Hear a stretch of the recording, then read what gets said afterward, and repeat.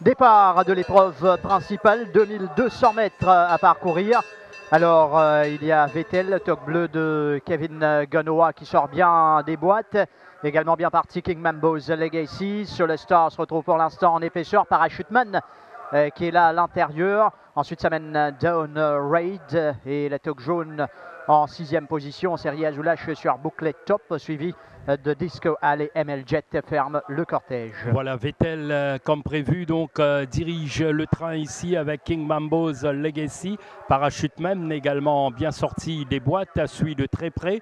Dawn Raid, euh, puis on retrouve Booklet Top, Solar Star à l'extérieur de Booklet Top, sans oublier Disco Hall et fidèle à lui-même, ML Jet à l'arrière-garde. Lui, il attendra certainement le moment propice pour passer à l'offensive. Au passage du but pour la première fois sous l'impulsion de Vettel avec Parachuteman qui évolue à l'intérieur, lui, de King Mambo's Legacy qui est bien retenu.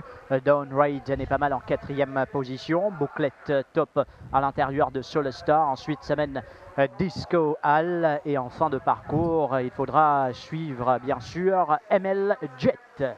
Oui, pas une allure extraordinaire, certes, mais Vettel, pour l'instant, contrôle bien les choses avec un parachuteman. King Mambo's Legacy nullement pressé, donc je à l'arrière-main de, parachute. Même puis on retrouve Dawn Raid également bien placé, sans oublier Booklet Top, Solar Star, Disco Hall, et les choses se resserrent avec ML Jet qui a complètement rejoint le peloton. À 600 mètres de l'arrivée, King Mambo's Legacy qui accroche maintenant Vettel. Parachuteman n'est pas mal avec Dawn Raid sur le star a contourné le peloton dans son sillage. ML Jet est lancé par Yashin Emamdi avec sous pression bouclet top disco en dernière position pour l'instant à l'entrée de la ligne droite finale. Avec Vettel à l'extérieur, King Mambo's Legacy, Dawn Raid lancé par Rai Jurawan.